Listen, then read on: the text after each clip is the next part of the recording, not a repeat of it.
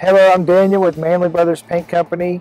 I'm the project manager and we've been in business in Atlanta area for over 30 years since 1983. Here's some tips for when it's time to paint your house. If you're seeing rotten wood is a number one giveaway and then if you see mildew or mold growing and when you clean it if it comes right back it's definitely time the finish on the paint is gone and you need to repaint. Manley Brothers will inspect your house thoroughly before painting. The prep work is the most important part. We actually take a look around before we start and during the process of prepping and we always check for rotten wood and help choose the right color for your home. And we can also recommend the types of products that are earth friendly and long lasting.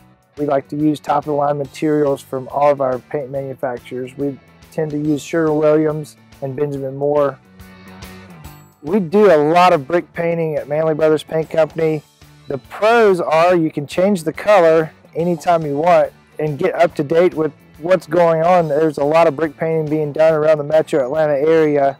The cons would be if, if you're a brick lover and, and you want to uh, save the brick, obviously once you paint it, it's going to be really hard to remove it, pretty impossible to remove it actually. So hopefully we've been helpful today in giving a few tips on painting your house.